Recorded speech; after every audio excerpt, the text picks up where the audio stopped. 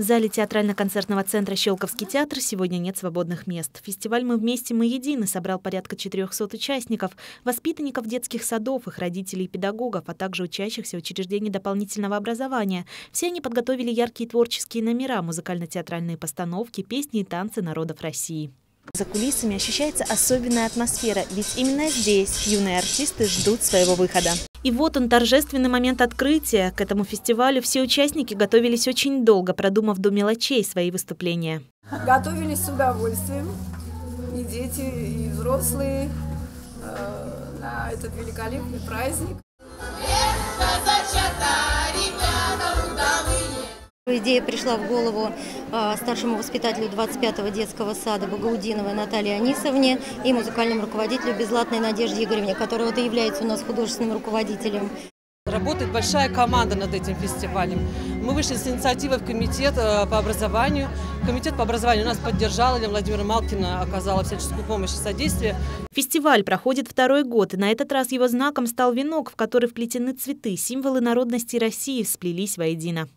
Только единство нашей нации, объединение людей, независимо от э, народности, которой они принадлежат, объединение людей одной целью, одной задачей – жить в мире, жить созидая. И такое объединение людей всегда приводит нашу страну только к победам.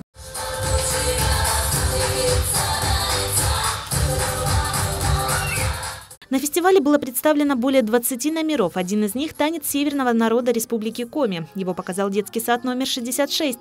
Название номера «Живая река». Артисты признаются, готовили выступление долго, продумывая и костюмы, и движения, и саму идею танца. Он красивый. Угу. Какой еще? Он очень ну, плавный такой, сложный. Хотелось почему-то представить именно северные народы.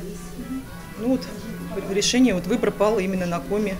Ну, народы Коми верят, что угу. если искупаться в этой реке, да, если испить этой воды, угу. то можно исцелить все болезни. Даже маленькие дети, они могут почувствовать вот эту сферу национальности, особенности какие-то. Люди стали понимать друг друга, как бы сплотились, можно сказать.